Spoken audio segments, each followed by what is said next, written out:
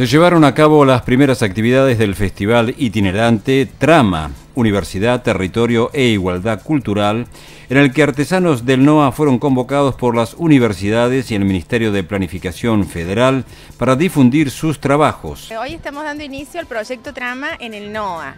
A partir de hoy hasta a principios de diciembre, en todas las universidades del NOA se van a realizar actividades en torno a los temas de pueblo originarios, adultos mayores, diversidad. Particularmente en Santiago nos ha interesado el tema de pueblos originarios y relacionarlos a una actividad como es el telar.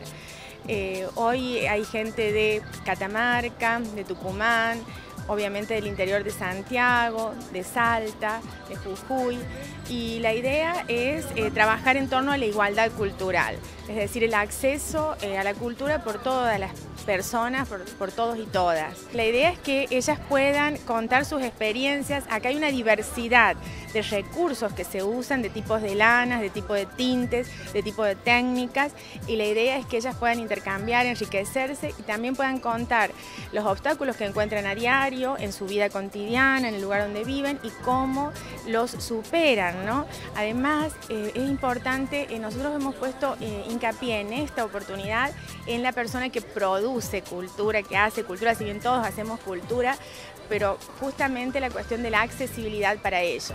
Sabemos que la comercialización, por ejemplo, para estas personas es difícil. Este, a veces los intermediarios son los que más ganan.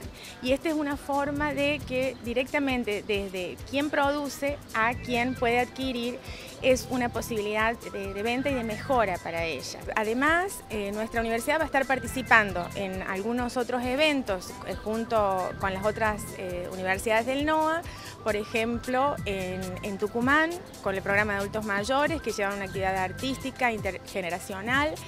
En Tucumán nuestra orquesta estable va a tocar en un ciclo musical y vamos a participar en eh, Salta y Jujuy con la mesa literaria del NOA con docentes y no docentes nuestros que son escritores y poetas y con un ciclo teatral. Estudiantes de la Escuela de Agricultura, Ganadería y Granja participaron de la muestra anual de cierre con el fin de dar a conocer las actividades realizadas en los proyectos pedagógicos productivos en 2015.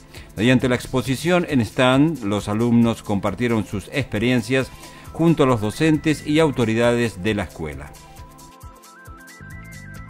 Se inauguró la sala del proyecto DTEC UNCE ubicada en el edificio Sedia de sede central.